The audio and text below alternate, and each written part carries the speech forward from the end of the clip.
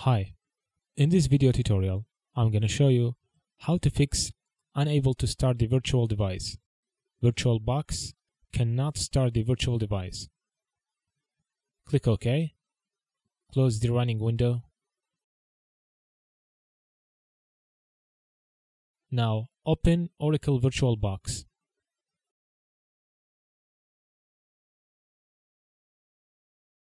Locate your virtual device it's Google Nexus 4.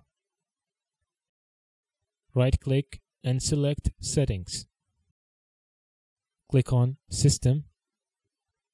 Make sure that the base memory does not exceed the red line of the host base memory. The same with the number of processors assigned.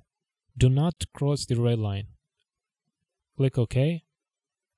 Now let's try to run the virtual device right from here.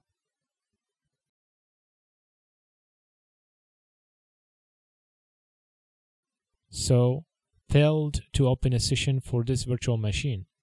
Click on Details.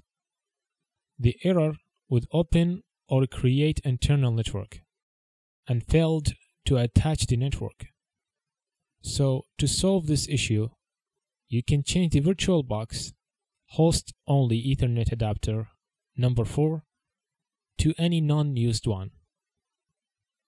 Or you can simply turn off any running virtual device that's using the same Ethernet adapter number.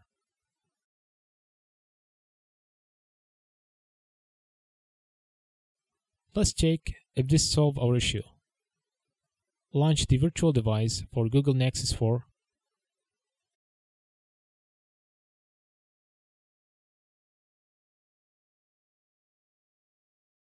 Great. Now it's working.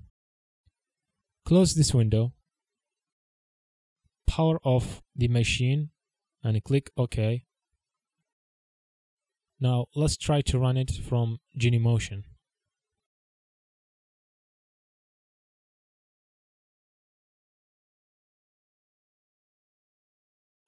Issue solved.